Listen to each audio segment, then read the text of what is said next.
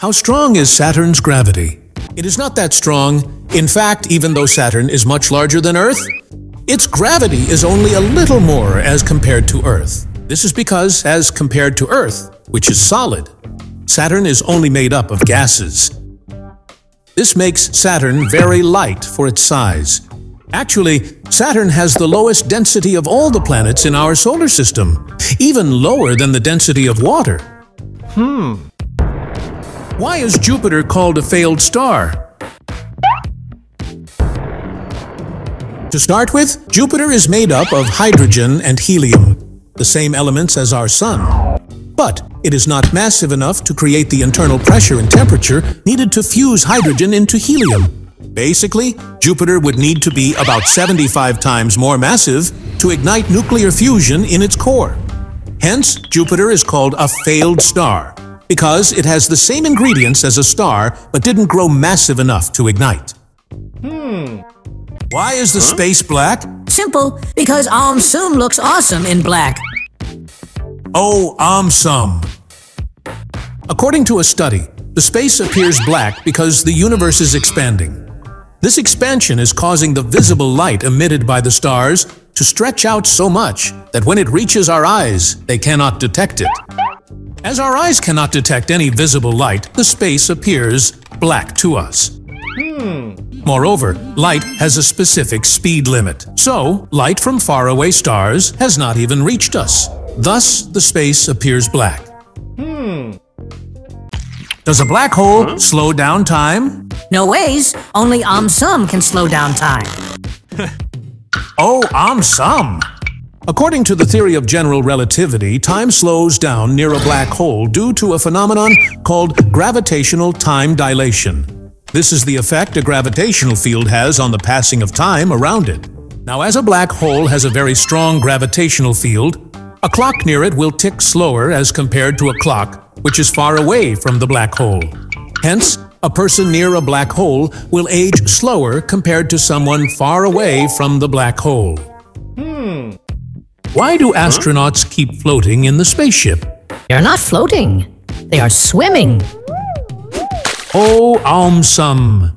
In vacuum, gravity causes all objects to fall at the same rate. Hence, in the space station, the astronauts and the objects are also falling at the same rate. Now, as the astronauts and the objects are falling together, they appear to float as compared to the space station. Wait, but is the space station also falling towards Earth?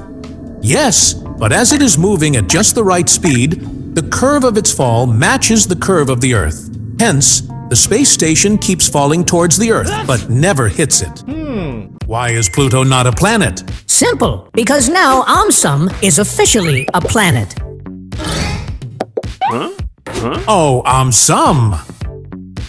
According to the new definition of a planet, a planet is a celestial body which is in orbit around the Sun.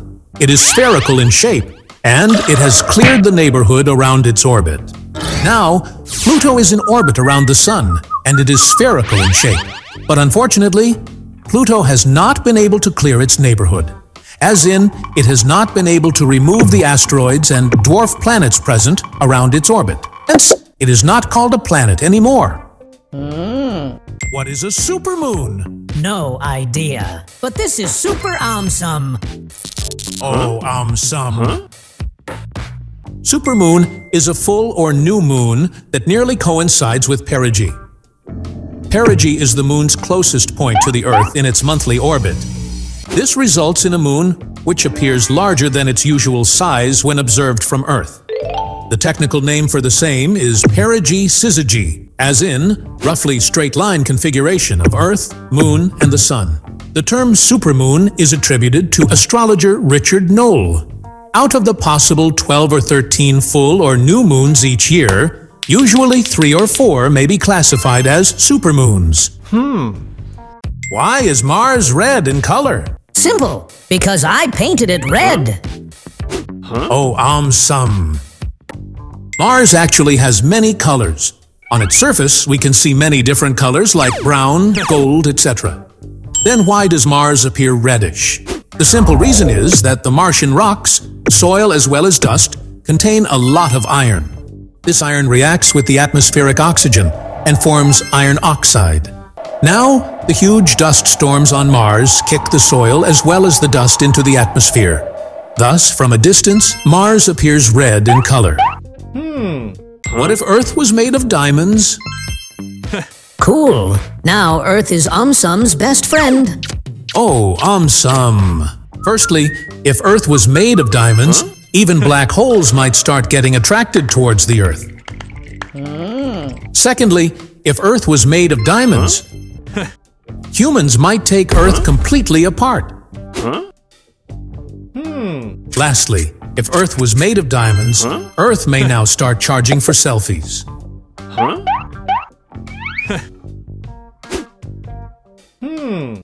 What if Earth became half Pluto? No ways. Pluto is not even a planet. Oh, um, some. Firstly, Pluto is smaller than the Moon. If Earth became half Pluto, humans on Earth's Pluto part may have to live in extremely small houses. Hmm. Secondly, Pluto is considered a dwarf planet. If Earth became half Pluto, other planets may start laughing at Earth. Hmm. Lastly, one year on Pluto is 248 Earth years long. If Earth became half Pluto, humans on Earth's Pluto part may never be able to celebrate their birthdays. Hmm. Why do astronauts keep floating in the spaceship? They're not floating. They are swimming. Oh, Aum In vacuum, gravity causes all objects to fall at the same rate. Hence, in the space station, the astronauts and the objects are also falling at the same rate. Now, as the astronauts and the objects are falling together, they appear to float as compared to the space station. Wait, but is the space station also falling towards Earth? Yes, but as it is moving at just the right speed, the curve of its fall matches the curve of the Earth. Hence, the space station keeps falling towards the Earth, but never hits it. Why does Saturn have rings? No big deal. Aum-Sum's rings are bigger. Oh, um, some! One theory suggests that Saturn's rings are remnants of celestial bodies like a moon or a comet. Billions of years ago, a celestial body may have got too close to Saturn.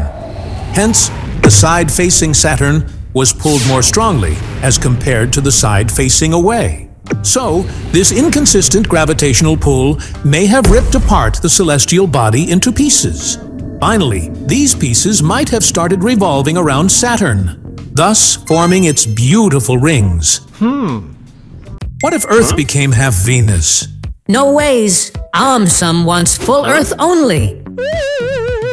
Oh, Aum Firstly, Venus is the hottest planet. If Earth became half Venus, ice creams on Earth's Venus part may not last even for a fraction of second.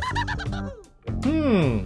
Secondly, clouds on Venus smell like rotten eggs. If Earth became half Venus, humans on Earth's Mercury part may start using air fresheners all day long. Hmm. Lastly, Venus has most number of volcanoes. If Earth became half Venus, things may not end well for Earth. Hmm.